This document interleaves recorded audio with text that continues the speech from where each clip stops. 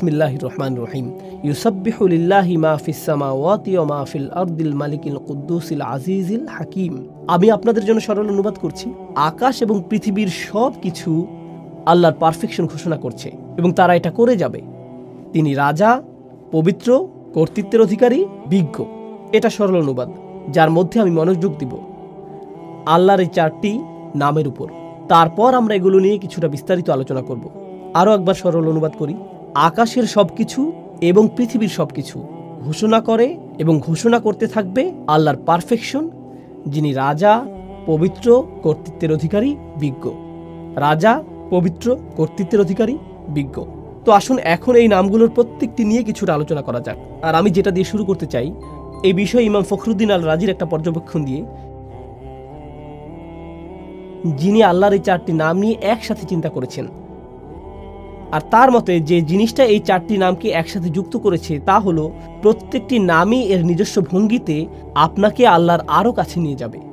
প্রত্যেকটি নামই আপনাকে আল্লাহর প্রতি আকৃষ্ট করে এবং আপনাকে আল্লাহর সান্নিধ্যে রেখে দেয়।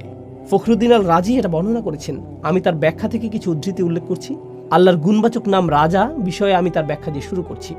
أن العظيم لا ينصرف عن مجلس من كان عنده إلا عند انفضاد مجلسه أو إيذانه بانصرافهم যখন আপনি মহিমান্বিত কারো সান্নিধ্যে থাকেন এই ক্ষেত্রে একজন রাজার সান্নিধ্য এটা অশোভনীয় যে আপনি সেখান থেকে হঠাৎ করে বের হয়ে আসবেন আপনাকে রাজকীয় সান্নিধ্যের সম্মান দেওয়া হয়েছে আপনি আমন্ত্রিত হয়েছেন কোনো প্রাসাদে তখন আপনি কোনো রেস্টুরেন্ট বা ট্রেন স্টেশন অথবা সিনেমা হলে বসে নেই যে আপনি উঠে চলে আসলেন। যেহেতু আপনি একজন রাজার সান্নিধ্যে রয়েছেন, আপনাকে যথাযথ শিষ্টাচার এবং নিয়মকানুন মেনে চলতে হবে। আমার নিজের এই বিষয়ে কিছুটা অভিজ্ঞতা আছে।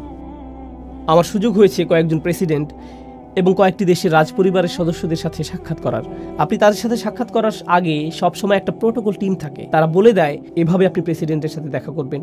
এভাবে আপনি রাজাকে সম্ভাষণ জানাবেন। এখানে আপনি বসবেন। প্রথমে এটা করবেন, তারপর সেটা করবেন।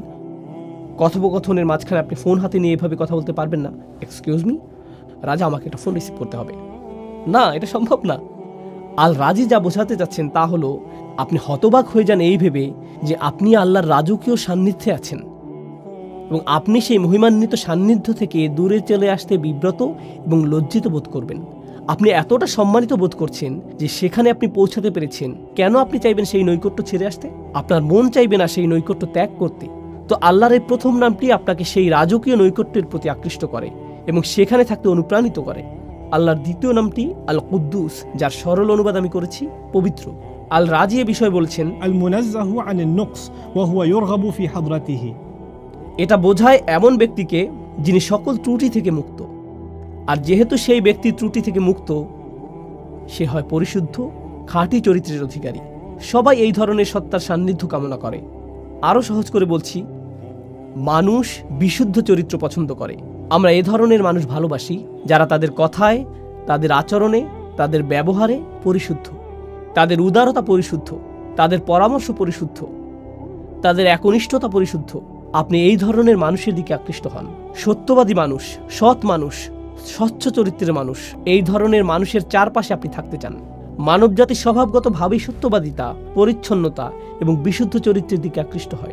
বাহ্যিক দিক থেকেও আপনি যদি কোনো দূষিত এলাকায় বসবাস করেন, যেখানে রয়েছে ধুলাবালি এবং এ জাতীয় জিনিস, মানুষ সেটা থেকে কোথায় চলে আসতে চায়?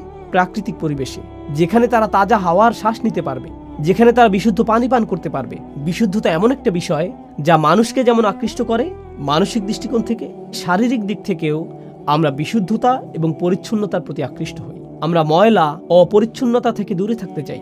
এটা মানব প্রবৃত্তি যা আল্লাহ আমাদের মধ্যে দিয়েছেন। তো আপনি যখন আল্লাহর পরিচয় পান, চূড়ান্ত পবিত্র পরিশুদ্ধ সত্তা হিসেবে তার সান্নিধ্য আপনাকে পরিশুদ্ধ করতে থাকে। তখন আপনি আপনার ভিতরে পরিবর্তন লক্ষ্য করেন। আর এই অবস্থায় আপনি সেই সান্নিধ্য ত্যাগ করতে চান না। তো এই পর্যন্ত বলেছি আল্লাহর দুইটি নাম। দ্রুত রিভিশন দিচ্ছি। রাজা, এটি ছিল প্রথম নাম এবং পবিত্র, এটি ছিল দ্বিতীয় নাম। আল্লাহর তৃতীয় নামটি হলো কর্তৃত্বের অধিকারী আল আজিজ يعتز الملتفون حوله فمفارقتهم حضرته تفريط في العزة আমি নামগুলোকে সহজ রাখার চেষ্টা করছি যাতে আপনারা শব্দগুলো মনে রাখতে পারেন নামগুলো হলো রাজা পবিত্র কর্তৃত্বের অধিকারী বিজ্ঞ এখন আমরা কর্তৃত্বের অধিকারী নামটিতে আছি তো আসুন আরবি ভাষা অনুযায়ী আল আজিজ শব্দটি নিয়ে কিছুটা আলোচনা করি এর মধ্যে আসলে দুইটি অর্থ অন্তর্ভুক্ত এর একটি অর্থ হলো কর্তৃত্ব যা আমি ইতিমধ্যে অনুবাদ করেছি। কিন্তু এর অর্থের মধ্যে সম্মান এবং মর্যাদা অন্তর্ভুক্ত। আর আপনি যদি এই দুইটি অর্থকে মিলিত করেন, তখন আল আজিজ যে ধারণাটি প্রদান করে, তা হলো এমন কর্তৃত্ব যিনি সম্মানেরও যোগ্য। এটা গুরুত্বপূর্ণ একটা স্বতন্ত্র বৈশিষ্ট্য। কারণ এমন মানুষ আছে যাদের কর্তৃত্ব আছে, কিন্তু তাদের কোনো সম্মান নেই। এমন এলাকা আছে যেখানে পুলিশের যথেষ্ট কর্তৃত্ব আছে, কিন্তু এলাকার মানুষ তাদেরকে সম্মান করে না। এমন মানুষ থাকতে পারে যার সম্মান আছে, একজন শিক্ষক, কিন্তু তার কোনো কর্তৃত্ব নেই। এরকমও ঘটতে পারে। কিন্তু আল আজিজ হলেন এমন সত্তা যার কর্তৃত্ব আছে এবং তিনি একই সাথে সম্মানিত। আল রাজি বলেছেন, কেন এই নামটি আকর্ষণকারী? তার মতে, এই সবগুলো নামই কোনো না কোনোভাবে আকর্ষণ সৃষ্টিকারী, তাই না? এগুলো আপনাকে আল্লাহর নিকটবর্তী করে। তিনি বলেন, এই গুণটিও রাজার মতো। একজন সম্মানিত এবং কর্তৃত্বের অধিকারী ব্যক্তি আপনাকে আমন্ত্রণ জানিয়েছেন, তার নৈকট্য লাভ করেছেন। আপনি সেই নৈকট্য ছেড়ে আসলে তিনি অসম্মানিত হবেন না, বরং আপনি নিজে অসম্মানিত হবেন। আপনি সেই সম্মান থেকে বঞ্চিত হবেন। আপনি আমন্ত্রণ পেয়েছেন সম্মানিত কোনো ব্যক্তির পক্ষ থেকে। আপনি আমন্ত্রণ পেয়েছেন কর্তৃত্বের অধিকারী কোনো ব্যক্তির কাছ থেকে। তো আপনার তার প্রতি আনুগত্য প্রদর্শন করা, সেখানে গিয়ে অবস্থান করার অর্থ হলো আপনার নিজেকে সম্মানিত করা। তো মানুষ আসলে সম্মানিত হতে পারে আল আজিজের সান্নিধ্য পাওয়ার মাধ্যমে। আর সব শেষে আমি দ্রুত আলোচনা করছি এই লিস্টের শেষ নামটি আল মালিক আল কুদ্দুস আল আজিজ এবং সবশেষে আল হাকিম রাজা পবিত্র কর্তৃত্বের অধিকারী এবং সবশেষে বিজ্ঞ।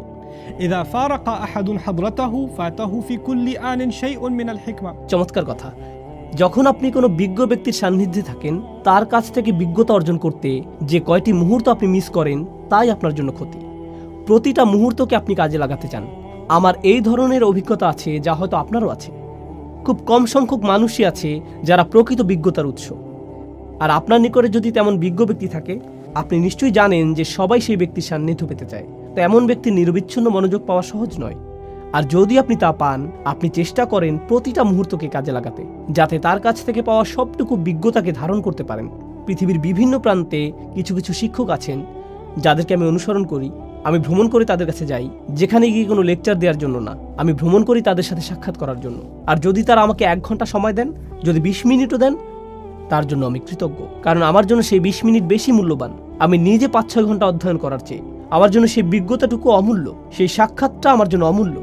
তো বিজ্ঞ ব্যক্তির নৈকট্যে প্রতিটা মুহূর্তই মূল্যবান। এবং এটা এমন ঘনিষ্ঠ অন্তরঙ্গ সম্পর্ক কোনো শিক্ষক অথবা বয়স্ক কারও সাথে, যিনি আপনাকে তত্ত্বাবধান করেন, ভালোবাসেন এবং এর মাধ্যমে আপনি বিজ্ঞতা অর্জন করতে পারেন।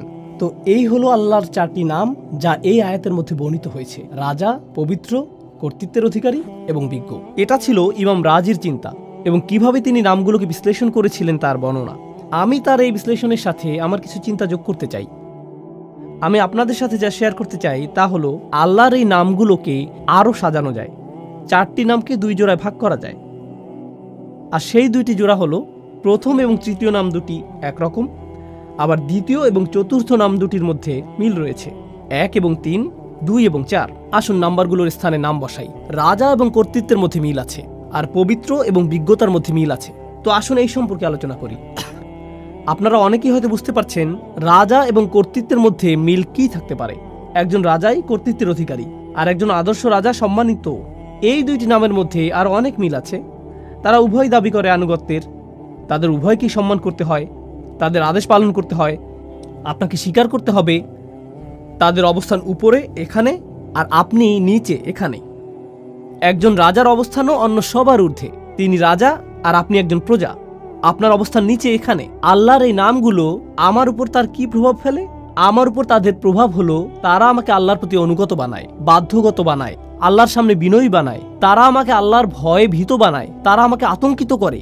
তারা আমাকে আল্লাহর শক্তিমত্তা এবং মহত্বের স্মরণে অভিভূত বানায় এবং আমার ক্ষুদ্রতা প্রকাশ করে। এটাই এই নামগুলো প্রকাশ করে। কোন দুইটি নাম? আল মালিক এবং আল আজিজ এগুলো আল্লাহর মহত্ব প্রকাশ করে এবং এর ফলে আমি হয়ে যাই ক্ষুদ্র এবং তুচ্ছ, আমি হয়ে যাই দাস, আমি হয়ে যাই বিনীত। এই দুইটি নামের সামনে। কিন্তু আপনি যদি অন্য দুইটি নাম দেখেন আল কুদ্দুস আল হাকিম পবিত্র এবং বিজ্ঞ, প্রথম দুইটি নামের মতো পবিত্রতা, পরিশুদ্ধি দূর থেকে অনুভব করা সম্ভব নয়। পবিত্রতা এবং পরিশুদ্ধি বোঝা যায় যখন আপনি কারও কাছে যান। আপনি দেখতে পান তাদের আচরণ। আবার বিজ্ঞতা হলো এমন জিনিস, যখন কেউ একজন আপনার কাঁধে হাত রেখে আপনাকে উপদেশ দান করে, যিনি আপনার অবস্থা উপলব্ধি করেন। আল হাকিম নিয়ে চিন্তা করলে কোরআনে বর্ণিত লোকমান আলাইসাল্লামের একটি ঘটনা আমার মনে পড়ে।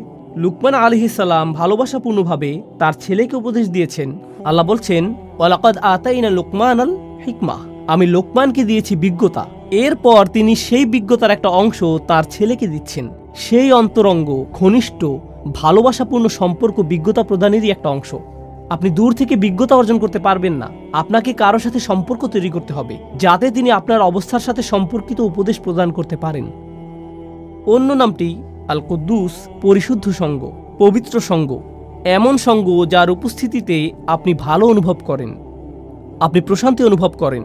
আমার কাছে আল কুদ্দুস এবং আল হাকিমকে এভাবেও সম্পর্কিত মনে হয়, যখন আপনি পরিশুদ্ধ কারও সান্নিধ্যে থাকেন, তখন আপনার হৃদয় পরিশুদ্ধ হতে শুরু করে। আর আপনি যখন বিজ্ঞ কোনো ব্যক্তির সান্নিধ্যে থাকেন, তখন তার বিজ্ঞতা দ্বারা আপনার মন পরিশুদ্ধ হতে শুরু করে। তো হৃদয় এবং মন পবিত্র হয় আল কুদ্দুস এবং আল হাকিম দ্বারা। তো দুইটি নাম হলো দূরত্ব সূচক রাজকীয়, মহিমান্বিত, এমনকি ভয় সৃষ্টিকারী। আর অন্য দুইটি নাম নৈকট্য সূচক বন্ধুত্বপূর্ণ, তারা আপনাকে কাছে টানে। এটা থেকে মনে হয় যেন এই নামগুলো বোঝায় দূরে, কাছে, বারে বারে দূরে রাখা এবং কাছে টানার প্রক্রিয়া চলছে। আমার এবং আল্লাহর মধ্যে সম্পর্কের ক্ষেত্রে এই নামগুলোর যে বিপরীতধর্মী প্রতিক্রিয়া, তা আসলে খুবই চমৎকারভাবে কোরআনে বর্ণিত হয়েছে। আর আল্লাহর সাথে আমার সম্পর্কের ক্ষেত্রে এই উভয় অবস্থাই দরকারি। প্রিয় উদাহরণটি হল মুসা আলহিসাল্লামের উদাহরণ। যখন তিনি আগুন দেখতে পেলেন, তিনি ছিলেন তার পরিবারের সাথে। আর তখন তিনি পাহাড়ের উপর আগুন দেখতে পেলেন। তিনি তার পরিবারকে বললেন তোমরা এখানে থাকো। আমি আগুন দেখতে পেয়েছি। সম্ভবত আমরা সেখান থেকে পথ চলার নির্দেশনা পাব। তিনি বুঝতেই পারেননি যে উপরে গিয়ে তিনি আল্লাহর সাথে কথা বলবেন। যখন তিনি সেখানে গেলেন, তখন প্রথম অনুভূতি কি ছিল? আল্লাহ বলেছেন, ইয়া মুসা, ইন্নি আনা রব্বুক ফখলা আনা আলাইক। মুসা, নিঃসন্দেহে আমি তোমার প্রভু। অতএব জুতা খুলে প্রবেশ করো। ইন্নাকাবিল ওয়াদিল মুকদ্দাসি তুয়া। নিঃসন্দেহে তুমি পবিত্র তুয়া উপত্যকায় আছো। তিনি ভয় পেয়ে গেলেন। আল্লাহ মুসা আলাহিসাল্লামের উপর তার প্রভুত্বকে প্রতিষ্ঠিত করলেন। তিনি একজন দাস মাত্র, জুতা খুলে ফেলো, যথাযথ সম্মান প্রদর্শন করো, এটা একটা ভয় সৃষ্টিকারী সম্পর্ক। পরেই আল্লাহ কি বললেন?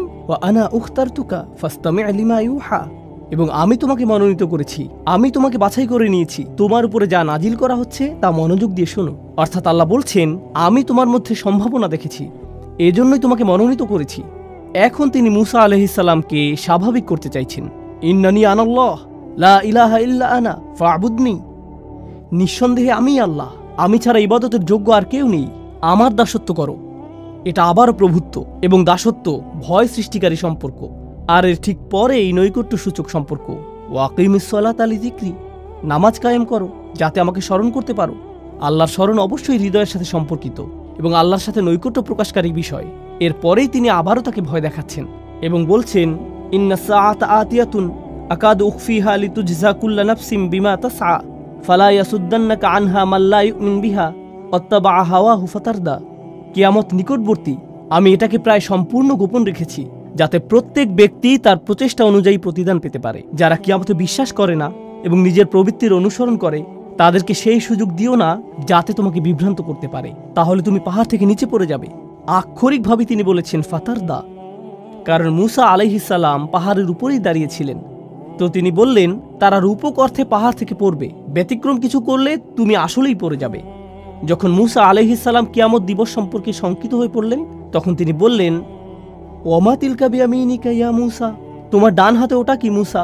আবারও বন্ধুত্বপূর্ণ সংলাপ, যা তাকে নিকটে আনছে। এ ধরনের উদাহরণ সমগ্র কোরআন জুড়ে রয়েছে। এখন এটা জানা গুরুত্বপূর্ণ যে, কেন? কেন এ ধরনের সংলাপ? কেন কিছু নাম আমাদেরকে আতঙ্কিত করছে, ভীত করছে? আল্লাহর কর্তৃত্ব প্রতিষ্ঠা করছে।